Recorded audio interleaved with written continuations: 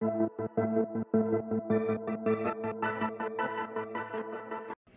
you for watching Terra's Kitchen with Pixel's mom today.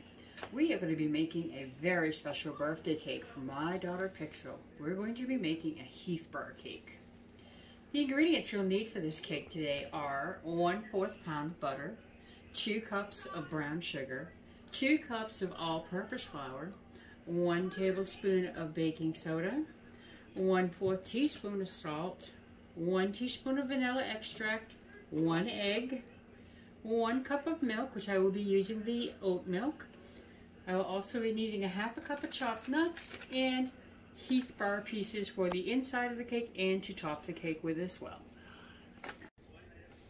All right, our first step to make our Heath bar cake is to add our one quarter pound butter into our bowl.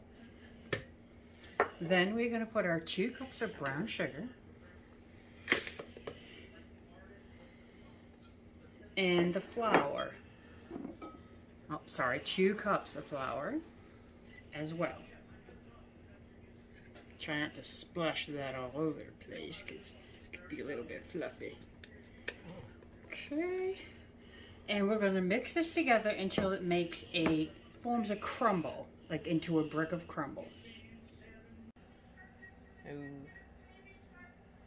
All right, now that we have the three ingredients combined and they have made a nice little crumble and I put a cup of it aside for future use, I am now going to add the baking soda, the salt, the vanilla, which was one teaspoonful, maybe a little bit more. It might be a little bit more vanilla-y. Sometimes that happens, I guess. I'm going to add one egg, the one cup of milk, which is in the bowl right here, and our walnuts. Now, it does not call for Heath bar pieces in the cake, but I am going to add some just because I would like to have the extra crunch that it would add to the cake itself.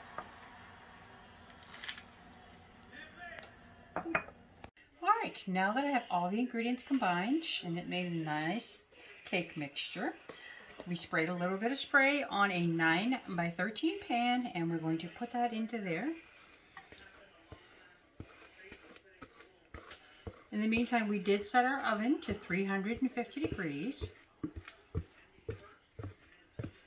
The cake itself should take anywhere from 30 minutes or until it is golden brown. Okay, now that we have the cake spread into the pan, we're going to take the additional crumble that I'd set aside and sprinkle that onto the top of the cake itself.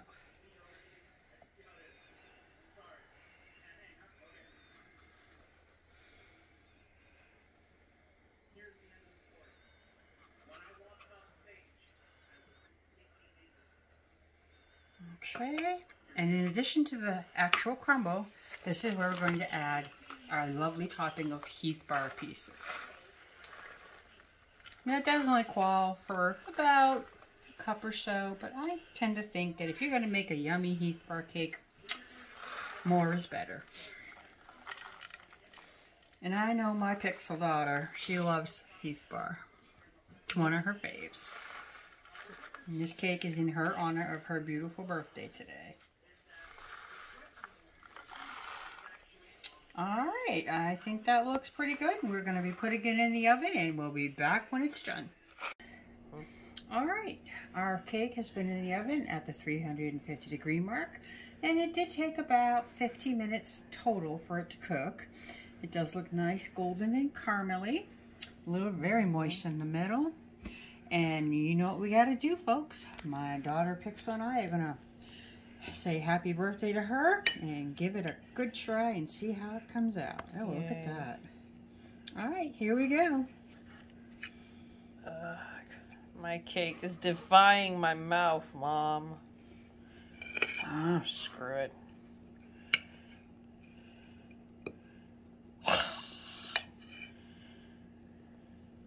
now it obeys me. Hmm. What do you think? Caramely? Mm-hmm. Sweet. Very good. Mm-hmm. I think adding the heath pieces inside the cake made it crunchy, Mm-hmm. which I think was a good touch, don't you? There's only one piece of criticism about it. Not And There's that nothing horrible. The top makes it a little difficult to chew. Almost like really, really hard caramel. It is good though. No, it's not It a bad good. thing. It's just you kind of have to chew the top of it for a little bit. Yeah. All right. Well, even if the cake did have a little bit of you know malfunctions here and there, I still think it was a s mostly a success. Yep. I think you'd have to play with it a little bit, maybe add a little less caramel teeth top, bar pieces, maybe, or you know, just Put Give more it in the middle and a touch. sprinkle on top. Yeah. I don't know. yeah. But otherwise, overall, I think it was good, and it definitely does taste very well. Let's look at the cake again. So, all right, folks. Um, if you give this cake a try, please let me know what you think and what you might have done different that might have made it a little bit more tastier for us. Yeah.